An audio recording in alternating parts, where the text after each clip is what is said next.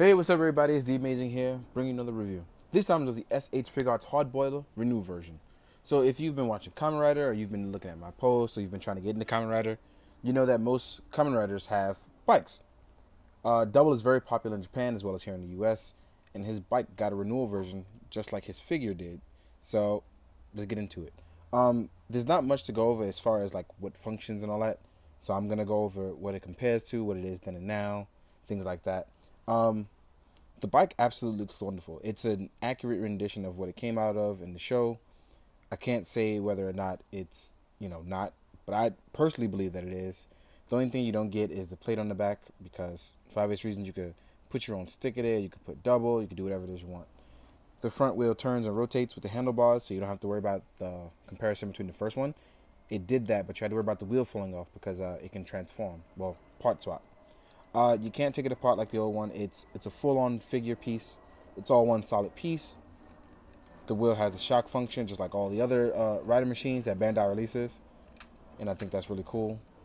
The wheels actually very smooth, and they stop really well. So if these ever get motorized, I would I would totally be a fan of these. I really like them. Um, I like Double's bike a lot. I think it's one of the better designs.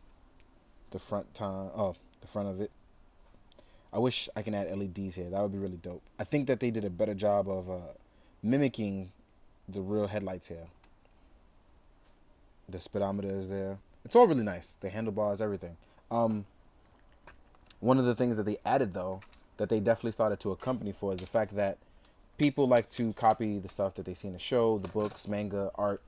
So most of the time, there's bikes jumping over things uh, and stuff like that. So what happens now is that they give it a porthole piece that way you can plug your bike up on the stuff. Now, because mine wasn't tied down, you obviously see that, you know. But the plugs hold up very well, as you can clearly see. Um, you just want to be careful not to snap it off in place because then you'd have to Dremel it out and you'd have nothing but trouble. And that's not something you want. Also, what it comes with if you don't want to be on the sidebar and you want to look like he's riding or driving, you can actually add the stand in place so now you can be straight up through. Um, one of the things that I've learned uh, through the bikes is that Bandai definitely does learn from their mistakes. Because with the first one, uh, the paint job is not it. The, the bike is almost identical in terms of molding. So I'm not gonna sit there and tell you uh, it's molded differently. It's actually molded just about the same, except as you can see, little details are added. Like as you can see here on the double structure, the headlights for blinking left or right are here. They're non. They're just non-existent here. The headlights on the first one. Now the thing about the first one is it was made more for pot swapping, and the problem was the bike itself was too big for the first uh, rider figure, um, and that was a little annoying.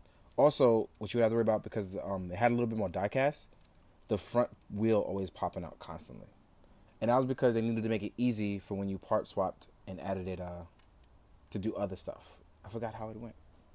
Oh, but yeah, you needed to part swap it. So let me just pop that back in. So that's one of the things you worry about. There's no porthole at the bottom, so it's a little bit more accurate in terms of uh, structure down here.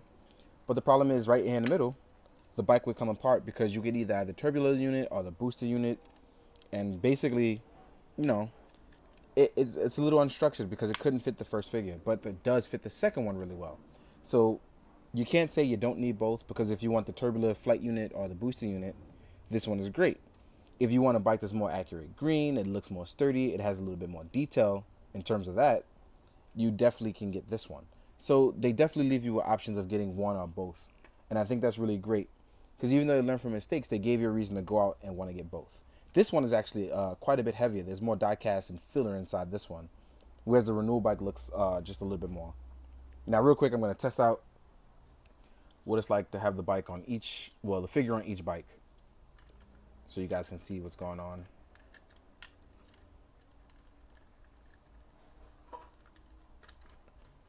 And double on this bike, I think, doesn't look as good as you would on the renewal one. Still good, but just not as good.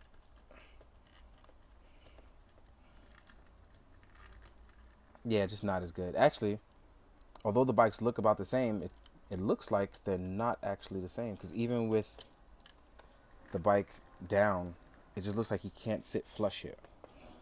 Pretty sure you could work that out and fix it. it looks like the handlebars may sit a little too low. So that's what's fixed on this one. And I'm just now learning this along with you guys. So the handlebars actually sit a little higher and there's more room here on this version. So while they look the same, there actually is a major difference. He doesn't sit completely flush here, so you have some working out to do. So there is a lot that was majorly fixed. Whereas I've and I've done it a million times. I already had it on the bike. He sits more flush. He sits well. It looks really good. The feet actually sit up properly.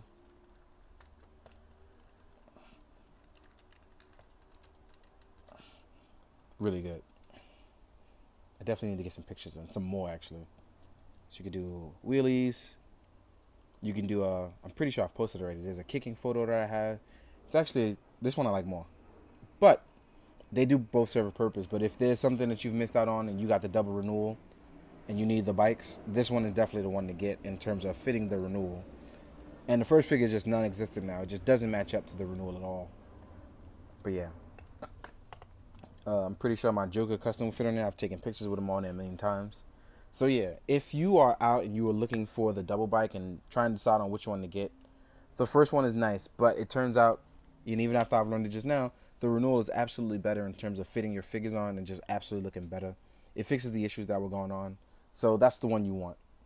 In the meantime, guys, I hope you enjoyed this review comparing the bikes. I hope you got a lot of information from it. In the meantime, drink your water, be good, do good, keep your hearts full. Later.